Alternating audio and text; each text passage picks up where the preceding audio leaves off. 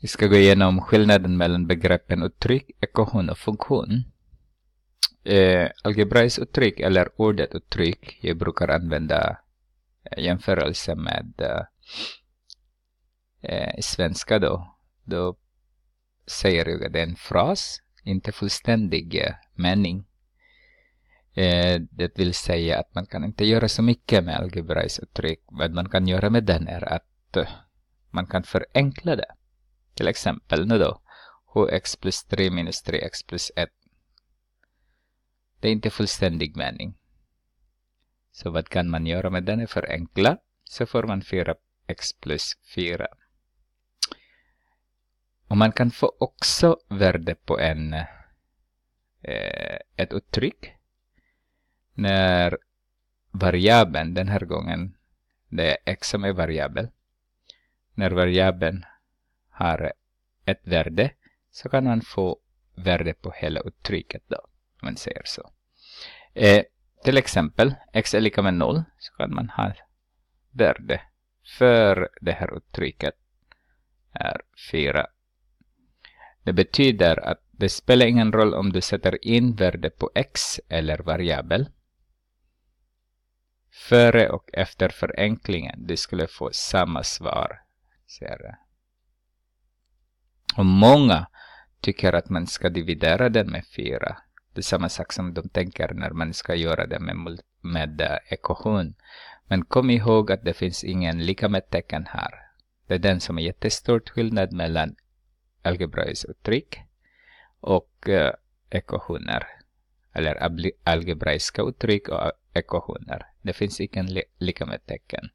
Så vi ska gå vidare så ser ni också att när det blir ekvation så är det en fullständig mening. Till exempel 4x plus 12 är lika med 12. Då kan ni se att det är en fullständig mening. Då heter den ekvation. Och den där ekvationen är lika med tecken som skiljer sig mellan eh, algebraiska uttryck och ekvationer. Det kan vi säga så här. Det här vänsterleden är algebraiskt uttryck högerleden är också algebraiskt uttryck. Men det finns lika med tecken mellan dem. Det är den en ekvation. Och det är en balans hela tiden. Att vänsterled och högerled det måste vara lika eller samma värde. Eh, och ni har lärt er hur man löser ekvationer. Så jag går igenom, jag går inte igenom i, den här, i det här fallet. Men för att eh, eh, ni kan tänka att de löste den här ekvationen då. Hur gjorde de? De dividerar alla termer med 4. Så har vi x, 4 dividerat med 4 är x. 4 dividerat med 4, förlåt, 4x dividerat med 4 är x. 4 dividerat med 4 är 1. 12 dividerat med 4 är 3. Så minus 1 där, minus 1 där, så får vi x är lika med 2. Och sen vad vi kan göra är att sätta in värdet på x som är 2. Så 4 gånger 2 är 8 plus 4 är 12. När vänsterled och högerled är lika, det betyder att ni har fått lösning. Och lösningen är korrekt. Titta om vi kan hitta funktion. Funktion är en sort ekohund. Som ni ser här nu, y är lika med 4x plus 4. Det är en funktion. Men ni ser att vi har två olika variabler. När vi har två olika variabler, då heter den och jag har gått igenom andra också. Eh, vad är en funktion? Men om ni har mer än ett variabel, variabler och, eh, och det finns lika med tecken emellan, oftast är det en funktion eller en formell. En funktion kan man skriva med f av x, alltså parentes x är lika med 4x plus 4. Det betyder att f av x och y, de är lika. Och då kan en funktion kan man skriva i en koordinatsystem eller en tabell.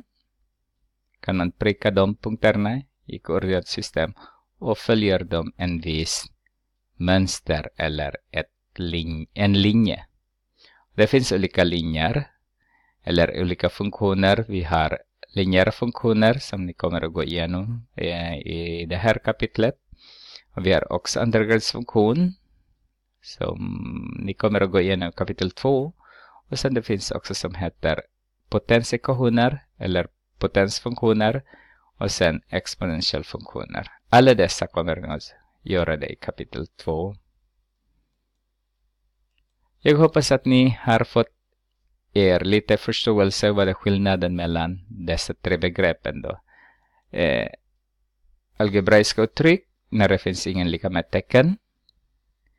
Ekvationer när det finns lika med tecken men vi har bara en eh, variabel. Funktion när det finns lika med tecken men det finns två eller tre variabler. Och det är inte riktigt sant men i en annan video så jag gick igenom vad är en funktion. Så kolla gärna den där, vad är en funktion. Eh, jag tror det handlar i första, första funktion, formell, veritabel och graf. Det var den video som jag har gjort innan också. Ha det gott!